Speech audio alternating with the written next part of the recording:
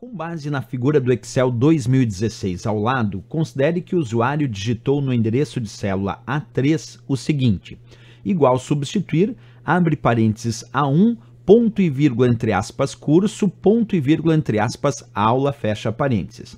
E logo após pressionou a tecla Enter do teclado, que texto conterá em A3. Letra A: livros, aulas, conaulas, aula. Letra B: livros, cursos, concursos, aula. Letra C, livros, aulas, concursos, aula. E a letra D, livros, cursos, conaulas, aula. E aí, pessoal, qual a resposta certa? Para descobrir isso, eu primeiro preciso mostrar para vocês como funciona esse essa função chamada substituir que nós temos aqui no Excel. Ali a função substituir foi apresentada com três argumentos, onde o primeiro argumento contém o texto que eu quero analisar, Aí vem um ponto e vírgula, o segundo argumento é o texto antigo ao qual eu quero substituir. E o terceiro argumento é o novo texto que eu quero causar substituição pelo texto antigo. Então, basicamente, a função substituir é para substituir um texto antigo por um texto novo. No primeiro argumento, eu digo que texto é que eu vou analisar. No segundo argumento, eu digo qual é o texto antigo. E no terceiro argumento, eu digo qual é o texto novo. Por exemplo, vamos pegar aqui o que a questão pedia. No primeiro argumento, a questão disse que colocou A1. A1 é o texto livros, cursos, concursos, curso.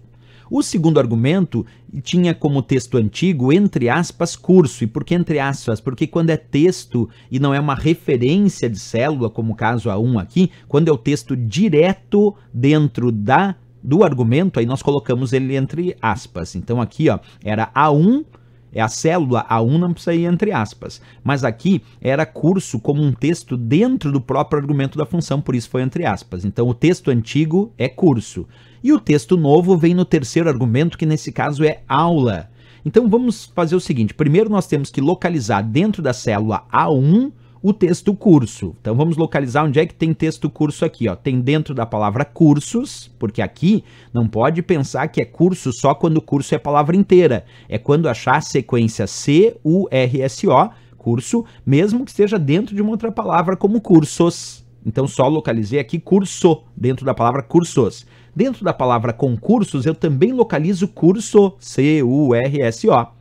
E dentro da palavra curso, é claro que tem curso, porque ela é uma palavra inteira, como está descrito aqui. Bem, então localizei três áreas onde eu encontro a sequência do texto antigo, C-U-R-S-O. E eu tenho que substituir essas áreas por aula.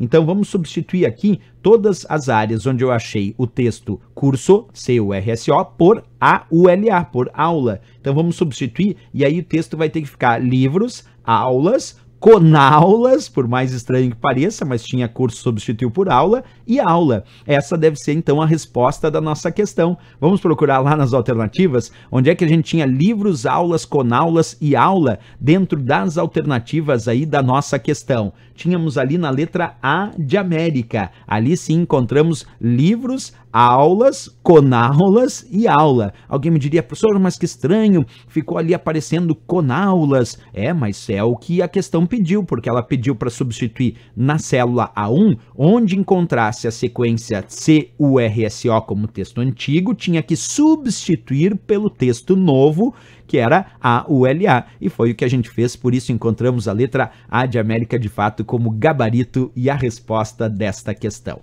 Certo, pessoal?